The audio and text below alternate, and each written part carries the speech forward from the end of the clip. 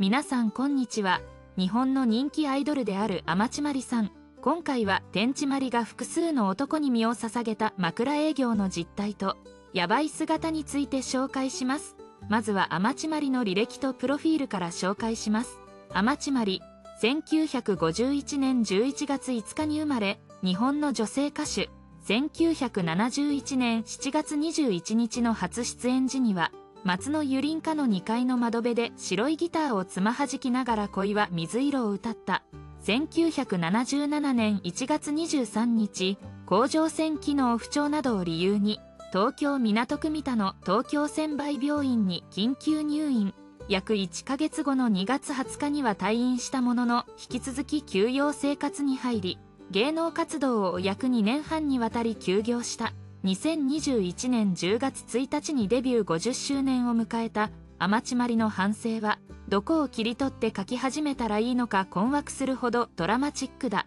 アイドル時代ソープ嬢騒動衝撃の日活ロマンポルノ出演。ダイエットとリバウンドのバラエティ時代ヘアヌード写真集。独居老人生活。隣の真理ちゃん白雪姫と呼ばれた。天地のデビュー当時のインパクトが脳裏に焼き付いているファンにはその後の天地は別人もしくは悪い夢を見ているかのような錯覚に陥るかもしれない。しかし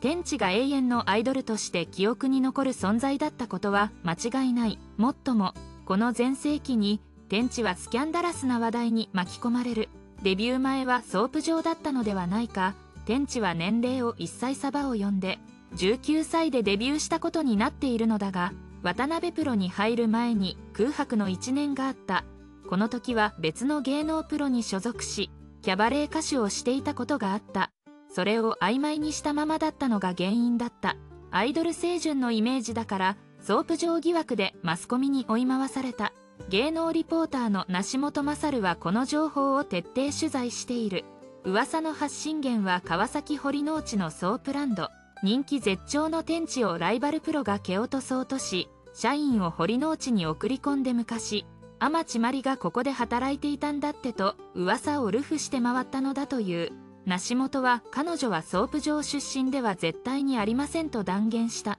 また当の天地本人は当時の私は正真正銘の処女。と週刊誌のインタビューで答えていた。ところがこの騒動が終わるかどうかのあたりから天地が体調不良に陥ったり気候を指摘する声が広がりさらに75年にはキャバレー周りをしていることを書き立てられるに至る。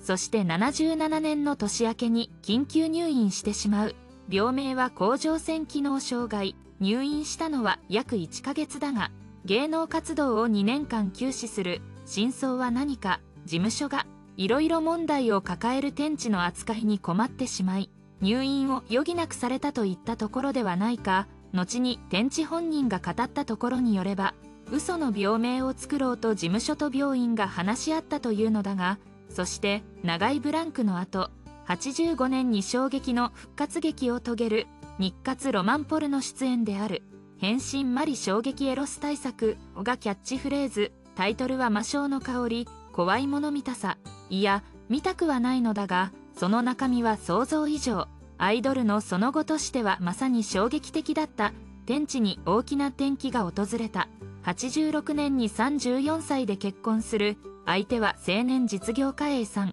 当時の触れ込みでは年商20億から30億円のカフェバーチェーンを経営というものだったが結婚後間もなく経営は立ち行かなくなり芸能事務所を設立し A さんは天地のマネジャーに収まってしまった。子供も授かったが次第に夫婦仲は冷めていったようで11年の結婚生活後96年に離婚。元亭主は仕事を全然しなくて娘にも辛く当たってと語っていた。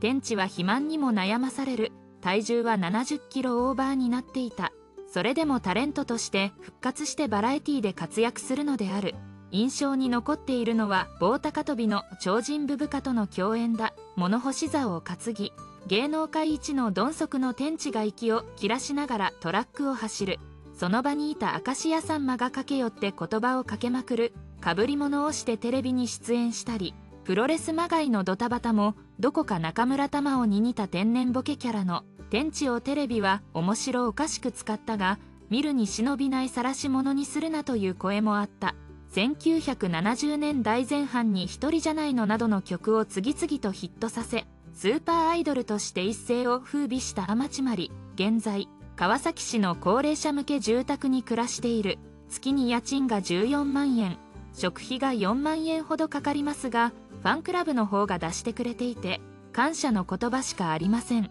65歳からは年金が月15万円ほどもらえるはずですが今痛くえはないです。渡辺音楽出版との契約で私が死ぬまで3ヶ月に1回。5万円が振り込まれることになっていますが全額娘に渡していて普段の生活に使うお金は娘が週に3回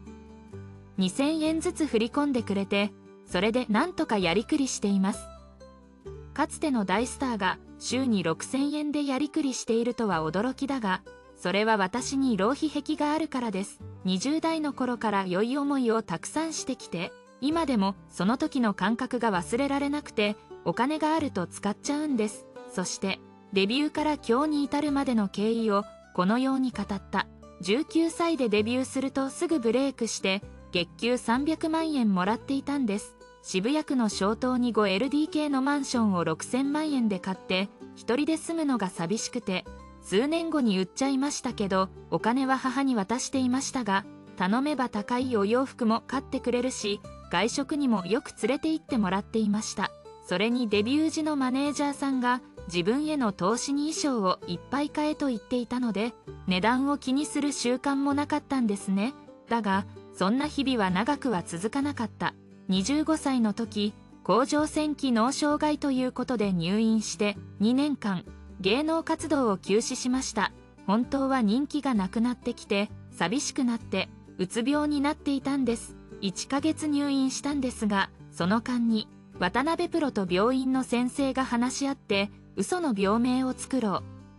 ということにしたのが真相なんです。復帰してからはまた月300万円もらいましたが仕事が増えず他の事務所へと転々とするようになってからは月に50万円くらいのお給料でした。でも浪費癖は治らずお金に困るようになりました。86年にはロマンポルノに出演しましたがあれは全てお金のためでもギャラの200万円は毛皮のコートを買って使い果たしてしまいました。その頃喫茶店のマスターと結婚した。が彼が住んでいた麹町のマンションで暮らし娘も生まれましたが元亭主は仕事を全然しなくて私には暴力を振るうし娘にも辛く当たって離婚の時に慰謝料ももらえませんでした。離婚を機に横浜市に移って娘が専門学校に入るまで学費などで困りはしませんでしたが浪費癖は止まらなくて30万円するサンローランの服を買ったりお金を貯めなくちゃという思いはあっても通帳にお金が残っていると使っちゃうんです。そんなだから娘ともいつも喧嘩になって一人暮らしすることにしたんです。老後とはそれをエンジョイできる余裕がある人には第二の人生でも破産状態に陥った人にとっては悪夢でしかないだろう。天地の刑。次は病気や離婚。人気低下による事実上のリストラなど様々な要因が詰まっているがこうなった最大の理由はダウンサイジングすることの難しさです。実際ダウンサイジングは老後破産を避けるための必須事項と言われる仕事のストレスを解消するために高価な買い物に走ってしまう。それに月に300万円ももらった経験があると浪費に歯止めが効かなくなりがちだし周囲にも良い暮らしをしている人が多かったでしょうからそれを意識してなかなか生活レベルを落とせなかったはずです。個人的意見ですが良い思いをしてしまったらなかなか生活のレベルを下げて生活できなくなってしまうのでしょう。人気がなくなった時点で生活レベル無駄遣いなどを下げていれば老後破産といった悲惨な思いはしなくて済んだのでしょうが皆さんはどう思われましたか？老後破産にだけはならないようにしたいものです。それにしてもファンとはありがたいものです。高齢者住宅の家賃をファンクラブの方が出してくれているのですからファンあっての歌手だとはよく言ったものですね。ファンに感謝です。最後までご視聴いただきありがとうございました。何かございましたらコメントください。よかったら高評価とチャンネル登録もよろしくお願いします。ではまた次回でお会いしましょう。